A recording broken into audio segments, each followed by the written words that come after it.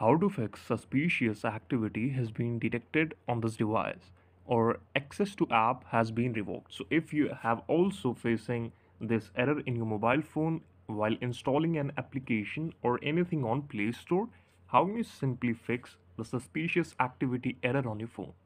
For this we will simply need to go to our phone and what we will do is we will click on the setting and in setting we will allow the permission to install external apps in our phone. So if you ever install or try to install any application through your google chrome and it has been showing that the suspicious activity has been detected and the access to app has been revoked how can we simply do it?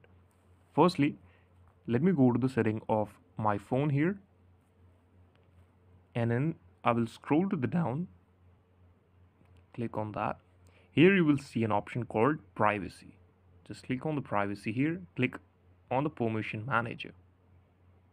Here in the permission manager you will see a lot of things here. What we have to do is we will simply go on the app permission and allow the applications to install on our phone with an external source.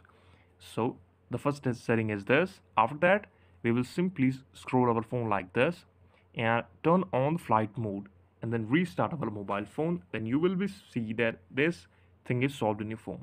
If still you cannot solve this issue what we have to do like i'm facing the issue in this application here so i will simply tap it for three or four seconds and then click on the second option to delete this application and then reinstall with our play store.